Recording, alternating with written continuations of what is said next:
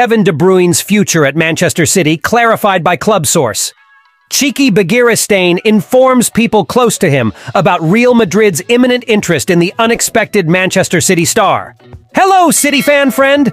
Come check out the latest news from the greatest club in the world. Manchester City's sporting director, Txiki Begiristain, is said to have informed some people close to him about Real Madrid's imminent interest in Rodri. It's believed that the former Barcelona boss is nearing the end of his tenure at the Etihad Stadium, with a broader sense that he'll leave the club after a 12-year stint alongside Pep Guardiola, although the date hasn't been decided. However, in a new surprising assertion, arguably the most crucial component of Pep Guardiola's team may be subject to transfer interest from one of Europe's biggest clubs, with Real Madrid eyeing Rodri for future plans. This is according to information from journalist Joan Fontes, who reports that ahead of his eventual departure from City, sporting director Txiki Begiristain informed some people close to him that star defensive midfielder Rodri will be subject to transfer interest. The report states that the Spanish international star has become the player chosen by Real Madrid chief, Florentino Perez, to bolster the club's midfield at the Santiago Bernabeu, either this summer or in the summer of 2025.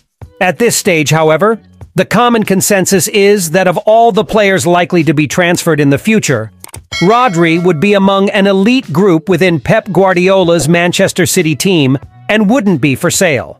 Few players would fall into this category from the standpoint of most fans, with Phil Foden, Ruben Dias, John Stones, and Ederson perhaps the only others who would cause immense dismay if they were ever to leave the organization. For now, Manchester City will almost certainly be looking to renew Rodri's contract in the very near future, as it seeks to reward the 27-year-old player for his truly transformative impact on the football club since his arrival in 2019. According to an internal source at the club, Manchester City is confident it won't lose its vice-captain and legendary midfielder Kevin De Bruyne during this summer transfer window. Despite ongoing speculation about the Belgian star's future, there's a strong belief that he will remain at the Etihad Stadium for the upcoming season. De Bruyne has been the subject of rumors regarding possible interest from Saudi Arabia since the summer transfer window of 2023. But so far, he has resisted any attempts to leave. The player has personally rebuffed interest previously, expressing his clear intention to extend his stay at Manchester City in pursuit of further success and achievements.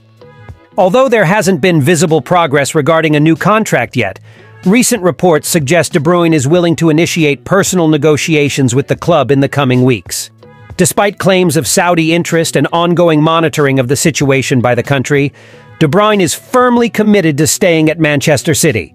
He's aware of the Saudi proposals but remains happy at the club and would only consider leaving if deemed unnecessary for the team. Based on the information provided by the internal club source, it's unlikely that De Bruyne will depart in this transfer window.